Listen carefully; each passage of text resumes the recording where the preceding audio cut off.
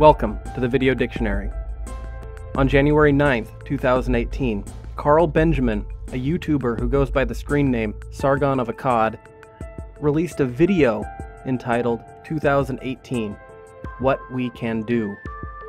In this video, he proposed a word, a label, for a movement he believes may change the course of the political discussion. That word is liberalist. Noun, an activist for liberty and classical liberal principles. History and etymology. The first time the word liberal was used in English in a political context was in 1801, and it was used as a negative label for those people who supported expanding political freedoms. Over time, the term came to represent free markets, liberty, freedom of expression, and much more. Lately in the United States, the meaning has expanded in such a way that it almost precludes the older meaning of the word. This new definition includes using government power to effect social change, a practice that tends to lead towards the opposite of liberty. It can cause undue burdens to be placed upon some citizens in favor of others. This is one of the many reasons I and many others believe a new word is needed to separate real liberalism from what's quickly becoming a Marxist socialist movement. Over the course of the past couple years, a community has arisen around these concepts of freedom and liberty, and they began voicing their views through alternative media like YouTube. Some of them would systematically deconstruct the arguments for authoritarianism.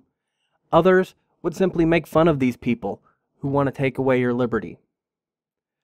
Either way, they were voicing their opposition to this growing authoritarianism disguising itself as liberalism. This is where that video Carl Benjamin released comes in. He proposed a word for those people who promote liberty and rally behind it. It's not the prettiest word, but it is growing on me.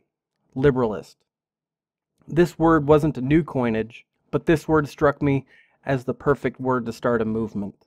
And it's the ist suffix at the end of the word that I really like. The ist suffix is used to make a word into a noun, with the meaning of one who does or makes.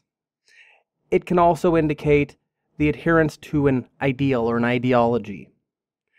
And the combination of those two makes it perfect. Based on its parts, the word liberalist means one who makes liberty. That's exactly what we need more of in this world people making liberty. Prescription and commentary. Now, as I said before, I really like what this word means, and the list of liberalist principles that Sargon has put together on his website really get me excited, including things like individual rights, economic freedom, freedom of speech, self reliance, blind justice, and secularism. Now, as someone who's attracted to the voluntarist ideology or the voluntarist philosophy, some of the policy prescriptions that are put forward in some of the streams, I have some qualms with. But overall, if we're going to take the discussion of politics in the direction of these principles that I just listed, I'm willing to set aside some of my more extreme beliefs about the nature of government if I can get the political discussion going in the right direction. I would proudly stand side by side with a liberalist and fight for liberty. I don't know if I can call myself a liberalist yet, but I think it's a movement headed in the right direction, and most importantly, I just love the word. Thank you for watching.